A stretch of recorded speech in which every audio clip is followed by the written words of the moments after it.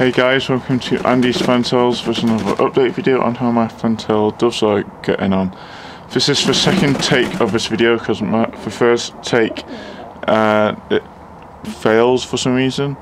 So uh, yeah, I just put a fresh bowl of water down for them uh, and recently uh, yeah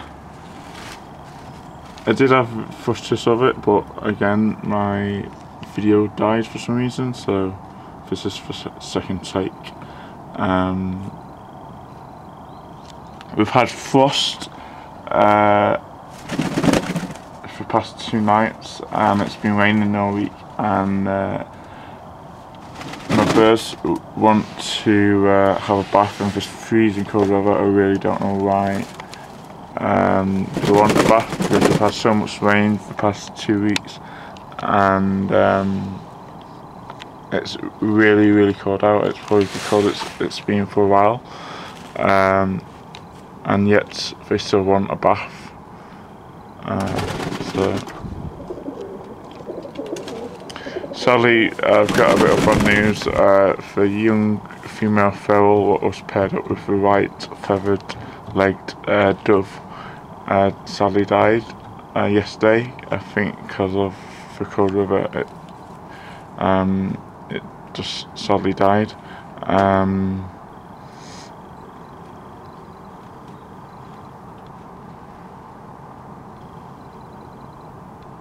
but when when it hit adulthood, there was something not right with that bird uh, for a while. So um, yeah, sadly it died.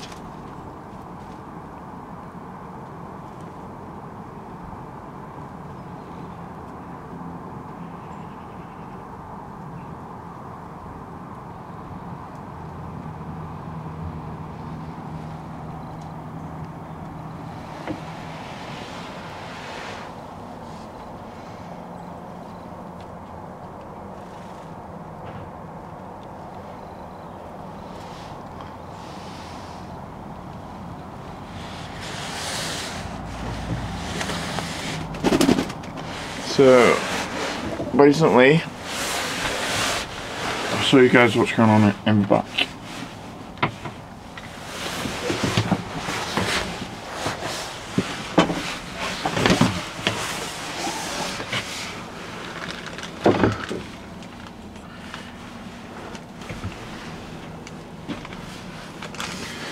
I'm a bit concerned about one of the young uh, young babies in here. Um, that's young white one. Um, it's a lot smaller and the parents doesn't seem to be feeding them uh, on a normal basis. It's not getting I don't think it's getting enough food, but we'll see what happens. But I don't think it'll make it. It might, it might not, but I'm guessing it might not make it. Um, that is, I'm really baffled by that other young one, that grey one behind it, because the parents are both right, uh, but uh, it's gone uh, for female curtail it's was for brown half L half um, fantail. So it might be a, fullback but it's a, but I looked at, I had a look at its colouring and it looks like it might be a blue bar that young grey one at the back. So it might be uh, it might be a cross or it might be um, Racing Pigeons uh, baby but I'm not sure.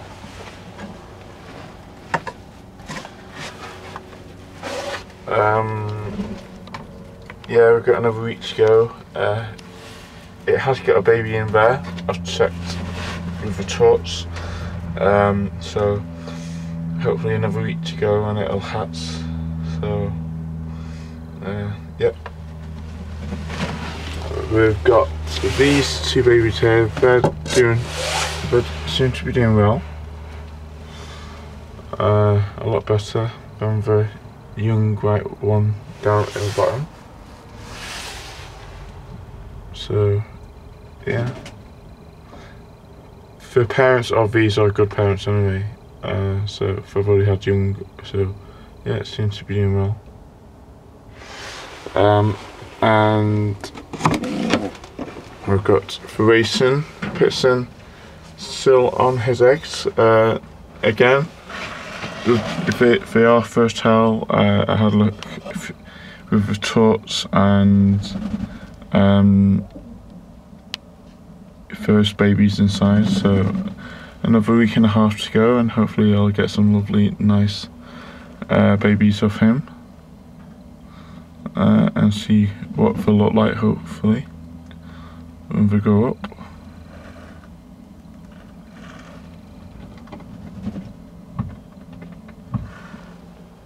But I've got a feeling he might be the father of that little grey one uh, down there because if the colouring is the same and it looks like it's going to be uh, a blue bar like him but uh, to we'll see later on when it's a bit older but um, yeah